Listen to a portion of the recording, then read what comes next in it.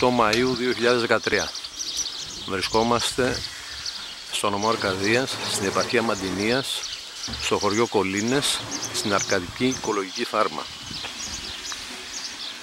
Μια άποψη του χώρου εδώ, της Αρκαδικής Οικολογικής Φάρμας. Εδώ είναι οι εγκαταστάσεις των μηχανημάτων.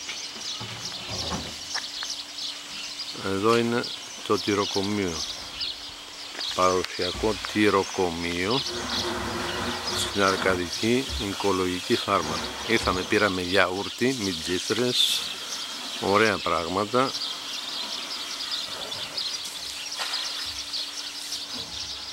Εδώ είναι η αίθουσα,